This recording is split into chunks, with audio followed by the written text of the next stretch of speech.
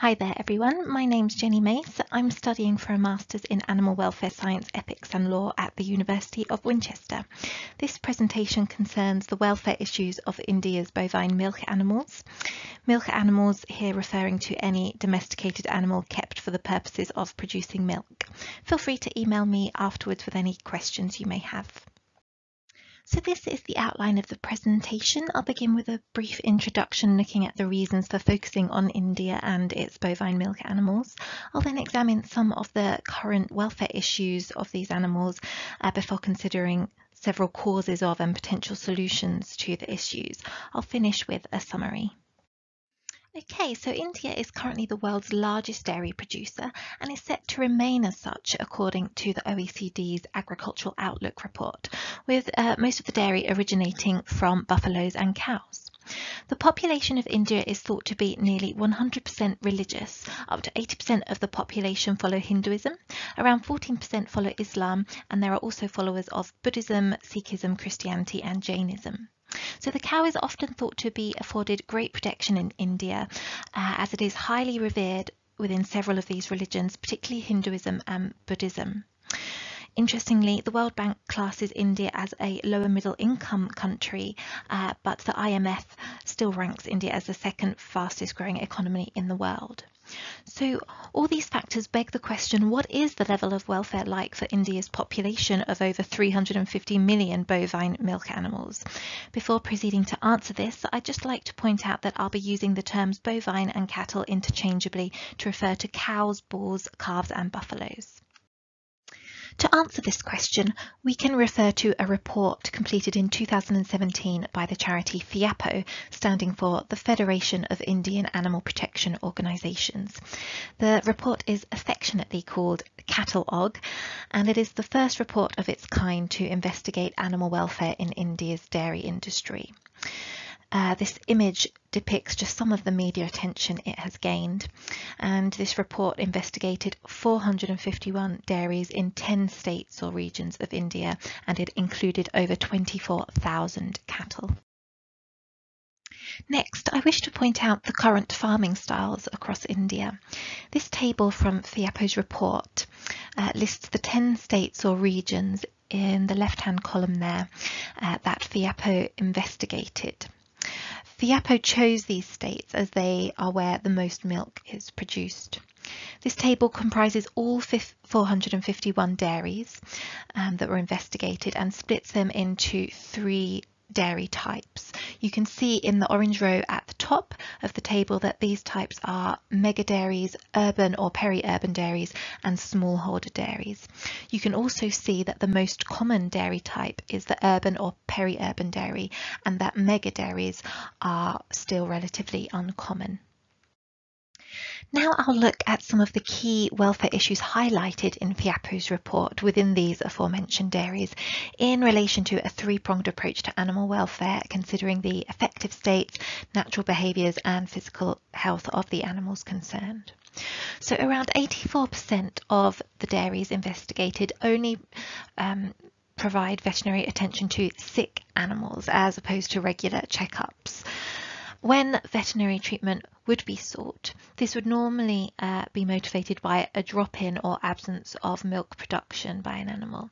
Uh, this means animals may be suffering for extensive periods of time without treatment. It also means that milking um, uh, of sick animals is likely to be taking place. This could potentially endanger public health.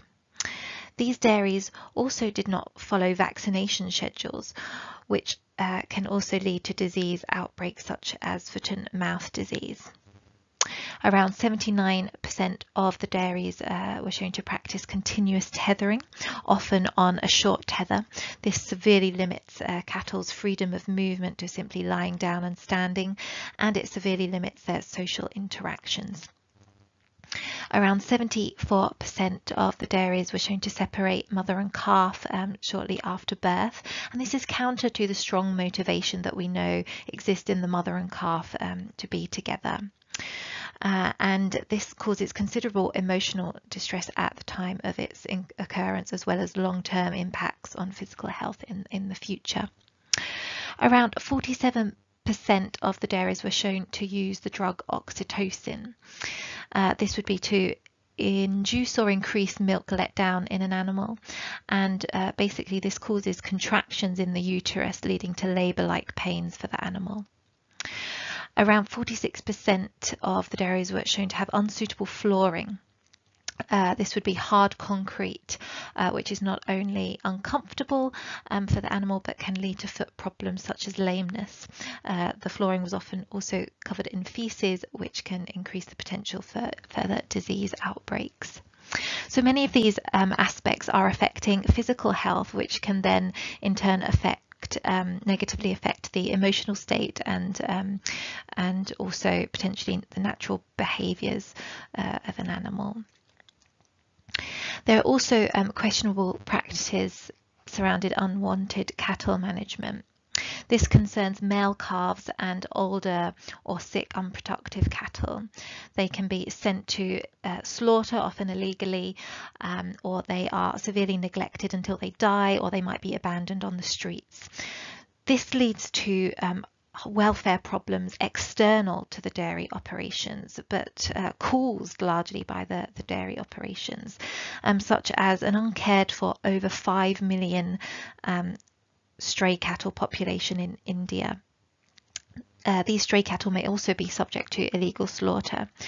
There are cow shelters called goshalas, but these are underfunded and overcrowded uh, with their own welfare problems. Dairies in um, urban and peri-urban areas were shown to have the, the worst levels of animal welfare. There are, of course, numerous other welfare issues, including mutilations without pain relief, lack of shelter, highly questionable practices surrounding artificial insemination and breeding, high prevalence of wounds and underfeeding, uh, and of course, um, uh, human welfare problems related to the dairy industry as well. However, there's insufficient time to discuss these here.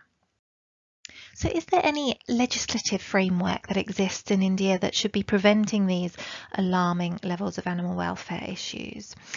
Well, first and foremost, the Indian constitution does um, explicitly mention um, milk animals. Uh, for example, in Article 48, it says the state shall prohibit the slaughter of cows, calves, and other milk and draught cattle. So it's clear that slaughter should not be happening and that protection should be afforded to all bovine animals. The Supreme Court reinforced its commitment to this in 2005. There is also the Prevention of Cruelty to Animals Act 1960, under which the use of oxytocin is banned, as it's deemed a so-called phooka practice, which is an injection of any substance into the female organs of animals solely for the purposes of retrieving milk. So that's very clear, but there are more ambiguous aspects to this act. Uh, this includes the use of language that is open to interpretation, such as animals should not be tethered for an unreasonable amount of time. So there's room for improving the specificity of the requirements in this Act. There's also registration of cattle premises rules, which require anyone owning five or more cattle to uh, register their premises. It's down to the discretion of the registering authority to determine if the animal welfare is being adequately um, insured before uh, registering a, a, premise. So there's room for improving the objectivity of such assessments. Also, it's worth noting that more than 85% of the premises in FIAPO's report were actually unregistered premises, so these rules clearly aren't being followed. Furthermore, there's um, so-called beef bans in 22 of the 29 states, and these vary in relation to if they uh, include bans on the slaughter of all bovines and if they uh, include bans on the consumption of beef as well.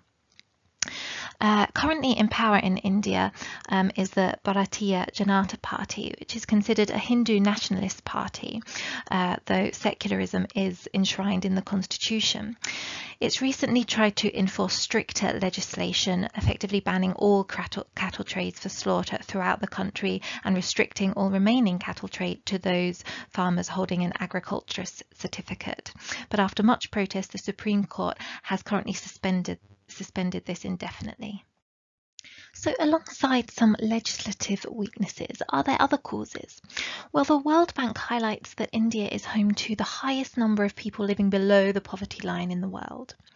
If people are focused on their own survival and that of their families, they are much less likely to have great concern for animal welfare. Having cattle can also act as a kind of insurance. There's the mentality that in hard times people can simply sell the animals. Milk also has substantial cultural importance. Economically, the livestock sector supports around 9% of the country's labour force and it contributes to 4.1% of the gross domestic product. Uh, milk is also perceived as being nutritious and by most in society as a sacred gift from the Holy Mother Cow. Not only is milk consumed, but it is poured over deities uh, at festivals and used in sacred offerings at ceremonies. Moreover, there's an appetite for cheap milk among the public and a government will to appease this. Additionally, still, uh, the World Governance Indicator Project uh, ranks India in the lower 50th percentile on average when considering all of the indicators, including rule of law, corruption, regulation, political stability. Whereas, for example, the UK ranks in the top 90th percentile. This suggests a culture of non compliance and thus legislation implementation issues too. Also, there are constitutional weaknesses. Some deem the Constitution interpretive in nature, others deem the Constitution to have different weightings for different parts of it, such as the right to religious freedom uh, having more importance than the animal welfare components. Also, the National Dairy Development Board of India states that the emerging private sector uh, in the dairy industry is increasingly taking up a vast amount of the market share, and this leaves smaller stakeholders to struggle, which links to the first point uh, regarding poverty. Let's now look to some potential solutions. It seems necessary for a non-religious animal welfare message to be used, one grounded in the latest animal welfare science and that will be relevant for all sections of Indian society. This will help prevent friction between different religious groups and help prevent conflict between some competing parts of India's constitution. It would also help shift the animal welfare focus away from solely the end of life stage to the full breadth of an animal's life. Dry dairies have also been suggested. These are similar to cow shelters, but are more self-sustaining in that they sell cow dung and urine to create manure, biogas and biopesticides. These products would also benefit the wider community. Cattle tags are being implemented for the first time in the state Madhya Pradesh with the aim of tracking cattle to help decrease the number of illegal slaughters. And in terms of implementing and improving legislation, well, before focus is given to this, there needs to be more research and more progress made regarding India's position in the lower 50th percentile on the World Governance Indicators Project. Nevertheless, for initial steps, the Animal Protection Index of 2014 recommends greater collaboration of India with the World Organization for Animal Health and recommends India's uh, formal support of the United Declaration of Animal Welfare. It also recommends India to incorporate formal recognition of animal sentience into its legislation where it's currently only implied. It also recommends the inclusion of animal welfare into India's education curricula. The promotion of plant-based diets is also necessary for uh, decreasing the production pressure on animals and decreasing the environmental impacts associated with the dairy industry, including habitat destruction and uh, water pollution. It would also uh, help to manage world hunger. Um, it is of note that India is a country with drought problems and where millions are hungry, and yet it breeds so many cattle that require feeding and to be given water. Compassion in World Farming recommends a global reduction um, in meat and dairy consumption of 50% by 2035, and India's per capita availability of dairy is already above the global average and set to increase further. Increasing the milk price to reflect the true environmental, animal welfare and public health costs involved uh, would help to de-incentivize the public uh, purchase of this. This is just one example of how to promote plant-based diets. Education is another. So, despite India's historico-cultural affiliations with non-harming and cow veneration, there's an extremely high prevalence of practices in India's dairies that severely and negatively impact the welfare of its bovine milk animals, particularly within urban and peri-urban areas. As the world's largest dairy producer, there's great potential and arguably a moral responsibility to improve the welfare of these animals. And as India's cattle generally have quite low productivity, a better welfare, better profit message can be promoted to cattle owners. Yet, of course, some measures will cost more, so the government's financial and legislative input will also be necessary. Ultimately, it's possible to grow the economy and create jobs in cruelty free ways. And for further information regarding this and how we can all play a role, please visit don'tgetmilked.fiapo.org. Okay, so if you do have any questions, do feel free to email me. My acknowledgements and references follow this slide. Thank you very much for listening.